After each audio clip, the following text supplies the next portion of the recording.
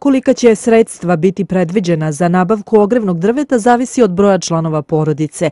Uglavnom se odobrava iznos za kupovinu 2 do 3 kubna metra, što će koliko toliko značiti socijalno ugroženim porodicama koje nemaju stalna primanja i koje uglavnom jedva sastavljaju kraj sa krajem. Svi oni koji su opravdani zahtevu za nabavku ogreva, mi odobravamo. Oni koji nisu, mi odbijamo. Mi ne vodimo tu evidenciju i ne razvrstavamo zahteve, da li je zahtev za nabavku ogreva, da li za egzistenciju, da li je za lečenje.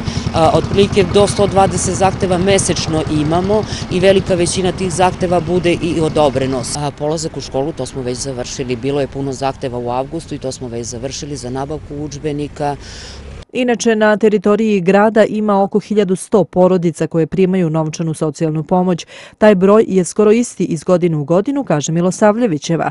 Ona objašnjava da se i naredne godine očekuje namenski transfer iz Ministarstva za rad, zapošljavanje, boračka i socijalna pitanja. Neka je procena da ćemo i sljedeće godine dobiti taj transfer namenski za usluge socijalne zaštite, ali je baš onako naglašeno dobit će samo one lokalne samouprave koje su ta sredstva ovaj, uložila u usluge socijalne zaštite, što je ovaj, činjenica da je grad Vranje to odradio i da smo negde možda i primjer dobre prakse kako se troše namenske sredstva.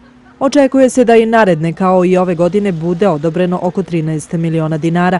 Konkretno ta sredstva će biti namenjena za finansiranje ličnog pratioca, pomoć u kući, usluge koje se pružaju preko Centra za razvoj lokalnih usluga socijalne zaštite, sigurne kuće, dnevnog boravka, prihvatilišta za odrasla i stara lica, kaže Milosavljevićeva.